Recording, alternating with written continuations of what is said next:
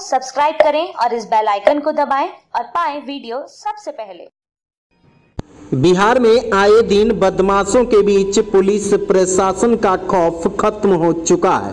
इतना ही नहीं, नवादा ज़िले के वारसलीगंज में इन दिनों गुंडों का आतंक चल रहा है। आए दिन वारसलीगंज में चोरी, साइबर क्राइम, डकैती, मर्डर, मारपीट, अवैध शराब का अड्डा बन चुका है।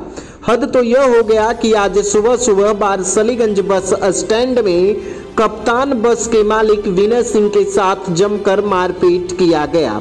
इतना ही नहीं, जब अपने पिता को छुड़ाने के लिए उनका पुत्र राहुल कुमार गया तो उसे भी बदमाशों ने मारपीट कर घायल कर दिया। घटना के संबंध में कप्तान बस के मालिक विनय सिंह ने कहा कि कल शाम में कुछ असामाजिक तत्वों के साथ मुझे धमकी मिली थी। धमकी मिलने के बाद मैंने इसकी लिखित शिकायत वारसलीगंज थाना को दिया था।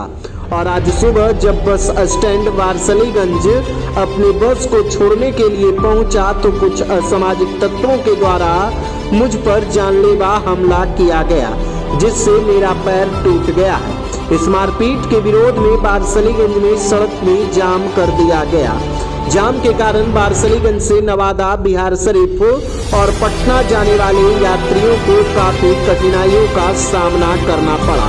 दरअसल हम आपको बताते चले कि जिस जगह पर मारपीट हुई है, वहाँ से थाना की दूरी महज कुछ ही मीटर पर है। इधर इस संबंध में बारसलीगंज थाना अध्यक्ष ने बताया कि उन्हें इस मारपीट की घटना के बारे में कोई जानकारी नहीं है और न ही हमारे यहाँ किसी प्रकार का कंप्लेन दिया गया है।